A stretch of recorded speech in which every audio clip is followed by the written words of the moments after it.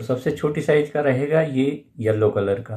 उसके बाद में, इसके बाद में आता है ये ब्लू कलर का, ये रहेगा बाईस नंबर का और ये रहता है चौबीस नंबर का येलो वाला।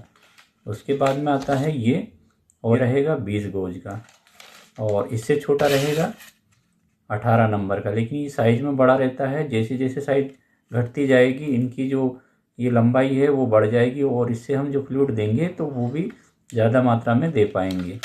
और उसके बाद में ये ग्रे कलर का आता है। तो इसकी साइज़ है सोलह नंबर की और इससे हम सबसे ज़्यादा क्वांटिटी में एक मिनट में जो फ्लूड है वो दे सकते हैं।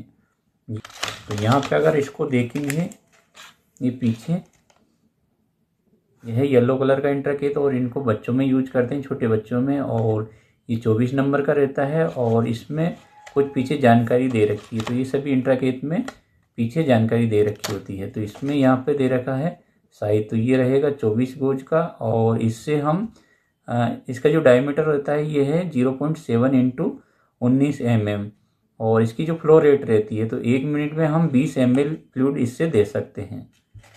ये सबसे छोटी साइज़ का रहता है और इसको बच्चों में यूज़ करेंगे। इससे ज़्यादा फ्लूड देना रहता है हमें तो इससे ब्लू कलर के इंट्राकेत का यूज़ करेंगे और ये बाईस नंबर का रहेगा और इससे हम एक मिनट में छत्तीस एम पर मिनट के हिसाब से फ्लूड दे सकते हैं। और इससे भी ज़्यादा यदि हमें फ्लूड देना है तो फिर लगाएँगे हम। और ये बीस नंबर का रहता है? बीस गोज का और इससे हम साठ एम पर मिनट के हिसाब से फ्लूड दे सकते हैं। और इससे भी ज़्यादा यदि हमें फ्लूड देना है तो ये ग्रीन कलर का हम यूज़ करेंगे। ये अठारह नंबर का रहता है और इससे हम एक मिनट में जो फ्लूड देंगे तो उसकी मात्रा रहेगी यहाँ पे नब्बे एम पर मिनट। नब्बे एम पर मिनट के हिसाब से इसमें मैक्सिमम हम आई वी फ्लूड दे सकते हैं। उससे भी ज़्यादा यदि हमें देना है तो हम ग्रे कलर का यूज़ करेंगे। इसका नंबर है सोलह, गेज का है ये, और इससे हम 200 सौ पर मिनट के हिसाब से फ्लूड दे सकते हैं। तो जो कैजुअलिटी में पेशेंट आते हैं एक्सीडेंट वाले, या उनका जो ब्लड लॉस हो जाता है तो उनके लिए हम ये वाला इंट्राकेट यूज़ करेंगे। इसके लिए हमें बड़ी वाली वेन चाहिए लगाने के लिए। और छोटों जो बच्चे होते हैं तो उनमें जो वेन होती है, वो बहुत ही छोटी होती है तो उनमें ये वाला हम इंट्राकेट यूज़ करते हैं। तो इस प्रकार से आज हमने जाना इंट्राकेट कौन से कलर का कितने नंबर का रहता है और इससे हम कितना फ्लूड दे सकते हैं। तो एक बार और रिवाइज कर लेते हैं। ये चौबीस नंबर का रहेगा येलो कलर का रहेगा और इससे हम कम फ्लूड दे पाएँगे। एक मिनट में बीस एम फ्लूड दे पाएँगे और इसको बच्चों में यूज़ करेंगे। उसके बाद में ये बाईस नंबर का रहता है। ये बाईस नंबर का रहेगा, ये ब्लू कलर का रहेगा और इससे हम एक मिनट में जो फ्लूड देंगे तो वो दे सकते हैं हम छत्तीस एम पर मिनट। उसके बाद बीस गोज का रहता है और इससे हम साठ एम फ्लूड दे सकते हैं एक मिनट में। उसके बाद में ये ग्रीन कलर का रहेगा और इसका अठारह नंबर का गोज रहता है। और इससे हम जो फ्लूड देंगे तो उसकी जो क्वांटिटी रहेगी, वो नब्बे एम पर मिनट रहेगी।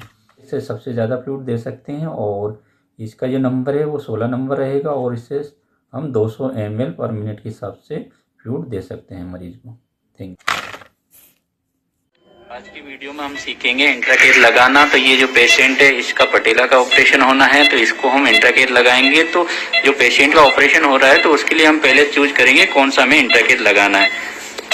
ये पटेला सर्जरी होनी है जो कि इस से हम होती है, जिसमें ब्लड लूट रिक्वायरमेंट ज़्यादा होती है, इसलिए हमें एटीन गोज का कम से कम मिनिमम एटीन गोज का खेल के लिए पेन होना ज़रूरी है जो फिफ्टीन गोज भी डाल सकते हैं, इसमें अपन। बाकी वेन अच्छी प्रोमिनेंट हो चुकी है अब इसको हम डालने वाले हैं। तो सबसे पहले इसको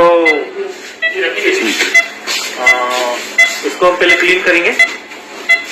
स्पीड से। स्पीड से क्लीन करने के बाद इसमें हम 16 गोल्ड का क्लीनर डालेंगे, जो कि ग्रे कलर का होता है। 16 गोल्ड इससे दो सौ बीस M L per minute. Per minute के फ्लो से। जा सकता है। छोटी सी लगा रहा है। ठीक है पीछे बुलेट आया।